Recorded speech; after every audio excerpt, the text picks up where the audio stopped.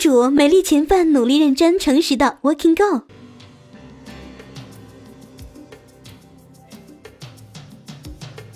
爆炸的半屏山造型，结合男装概念的女套装，华丽摇滚皮衣，宽厚的垫肩，这是那个年代的时尚潮流。亲们不要被吓到了。女主是一个要上各种培训班，努力向上，不断充实自我的人。虽然她有个美丽的脸蛋，有双腿完年的美腿，有个聪明的大脑，更勤奋努力，但是现实总是残酷的。努力并没有得到他想要的，在被他拉皮条的领导戏弄之后，又被调到了其他部门，并被警告这是最后一次。再不行，直接滚蛋！这一次的领导是个女领导，领导暗示她好好跟我干，有你出人头地的一天。女主想，我这匹千里马终于遇到伯乐了，于是开始给领导献计。领导一听，哎呦，不错哦，有前途。不过领导很快就在滑雪过程中把腿摔折了。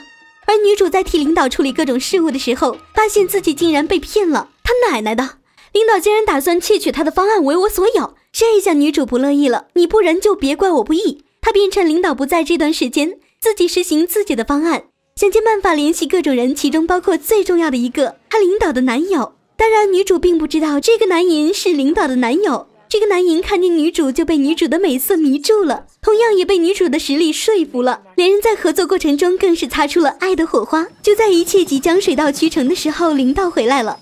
他戳穿女主的身份，还谎称女主窃取他的方案。女主眼看面临失业，而另一方面，因为女主之前撞破相爱多年男友和自己的好朋友背着她干偷鸡摸狗的事，她在众多好友面前没有答应男友的求婚，两人也就正式说拜拜了。在女主觉得即将失去眼前自己极力争取来的这一切时，事情出现了转机。她利用自己的聪明才智戳穿了领导的谎言，她得到了本该属于她的一切。她拥有了属于自己的办公室，有了助手。还得到了爱情。快哥想说，善恶终有报，努力付出就会有回报。现在还在职场摸爬滚打的亲人们，加油吧！本片为美国知名导演迈克尼克尔斯作品，《上班女郎》是他知名的爱情喜剧，曾荣获奥斯卡、金球等大奖，也被 AFL 分别列为百年百大爱情及励志电影。关注微信，快看电影三六五，输入电影名称就能看到完整版了。